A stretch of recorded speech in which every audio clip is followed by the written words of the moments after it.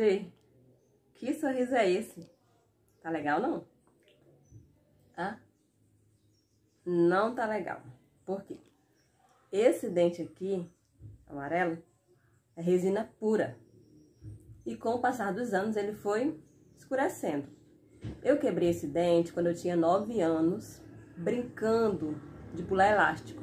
Caí de boca no chão e meu dente quebrou bem aqui, ó. Bem aqui no meio. E aí, minha mãe não tinha condições de mandar arrumar. Do dia que eu quebrei até eu arrumá-lo pela primeira vez, passaram-se oito anos. Só quando eu tinha 17 anos foi que eu consegui, pela primeira vez, fazer uma restauração. E aí ficou, né, mais ou menos parecido com o outro. Aí eu pude voltar a sorrir, porque antes eu sorria assim, ó.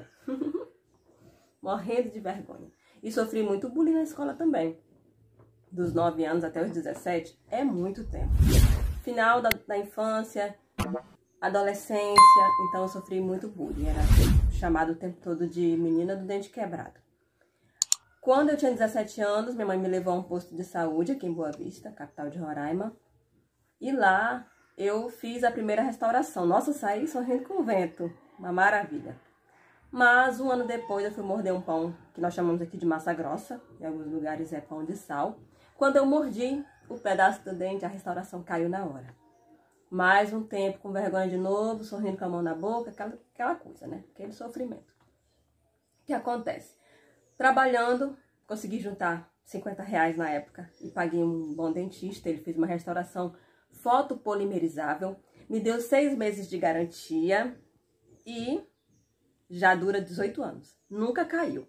Mas com o passar do tempo foi escurecendo, não tem como, resina é assim mesmo. E eu precisei fazer um canal porque o dente, por ter passado muito tempo quebrado, ele acabou infeccionando e eu precisei fazer um canal. E depois desse canal, aí é que escureceu mesmo. Aí é que a situação ficou pior. O que acontece? Agora eu decidi que eu preciso, urgente, é urgente, fazer uma faceta.